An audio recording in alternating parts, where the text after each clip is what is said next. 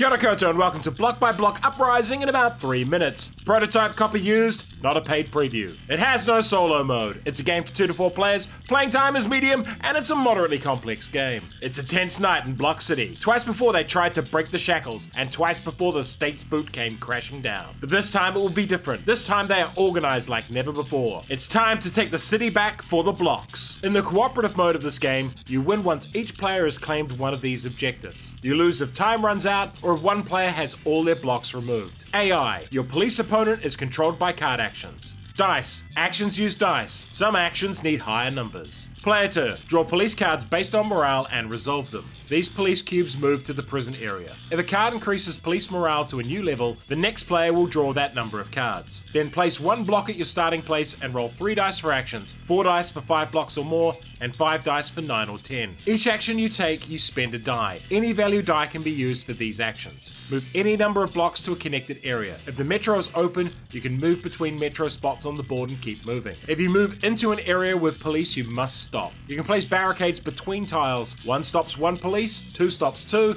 and three stops all of them. Police when moving remove one barricade each. Another action is to send a block to the meeting. These actions need a die higher than or equal to the value on the tile. Looting a shopping area to get a loot card, or placing graffiti to help claim an area. Defeating one police cube, or pushing two back to an adjacent tile. Placing an occupation marker in a region.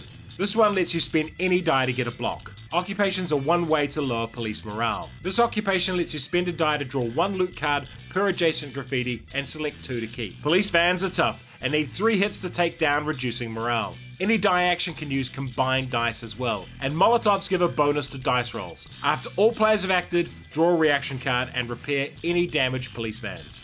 Each police cube removes one block or occupation, police vans destroy everything. Then resolve the rest of the reaction card. Here the van moves to the liberated airport and places a cube. Then if there are double a tile's value in blocks, you may liberate that region. If it is a public region or adjacent to another liberated area. Resolve the liberation card's effects, low morale, and then place the tile back on its new side.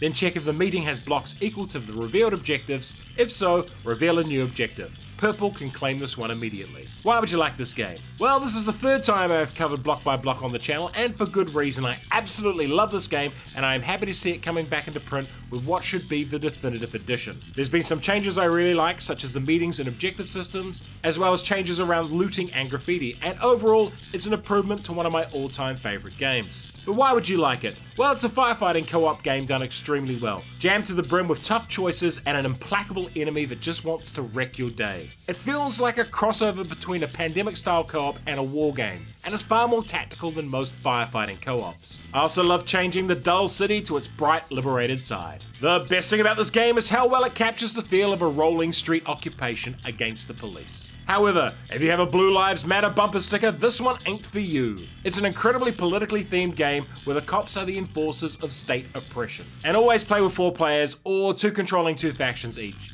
It's a bit rubbish with three. For something less politically charged, try Pandemic Fall of Rome. And for a different sort of political co-op, where you need to kill Hitler, try Black Orchestra. Bloc by Bloc Uprising, a three-time gold medal game. All power to the blocks. 3 Minute Board Games does not do paid content. Keep us independent by supporting us on Patreon. And if you enjoyed this video, hit the notification button, like, share, and subscribe to the channel.